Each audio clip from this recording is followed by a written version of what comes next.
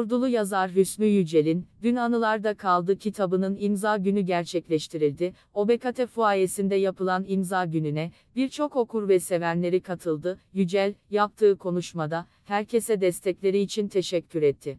Orada artık bizi siyaseten, sporun içinden her yerden tanıyor. Ee, aşağı yukarı 70 yıllık bir orada bir hizmetimiz oldu. Mühendislik hizmetimiz.